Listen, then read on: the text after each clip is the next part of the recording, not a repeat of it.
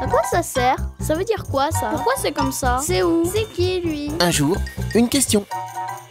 Pourquoi doit-on faire attention à ce qu'on mange?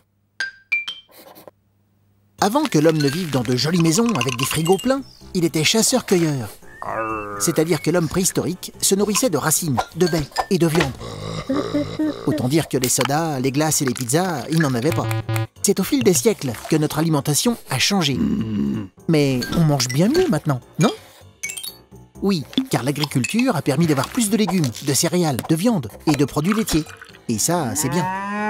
Mais l'agriculture a aussi permis de produire plus de sucre et de gras. Et depuis 100 ans, on mange de plus en plus de produits industriels. Ces aliments, produits dans des usines, comme les biscuits ou les chips, contiennent souvent plus de sucre et de graisse qu'il ne faudrait. Pourquoi? Car notre corps adore ça. Ce corps de chasseur-cueilleur est fou de plaisir devant ces aliments qu'il n'aurait jamais croisés dans la nature. Il en redemande. Et les professionnels de l'alimentation le savent.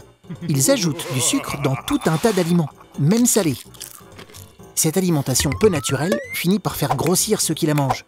Ils sont en surpoids, voire parfois obèses. Et c'est très dangereux pour le corps. Cela abîme les articulations, fatigue le cœur et augmente les risques de maladie. Voilà pourquoi il ne faut pas manger trop gras ou sucré.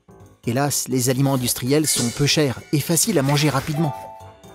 Contrairement aux aliments de meilleure qualité qui contiennent ces goûts dans des quantités limitées, mais adaptés à notre corps préhistorique. Tu te poses des questions? Nous, on y répond.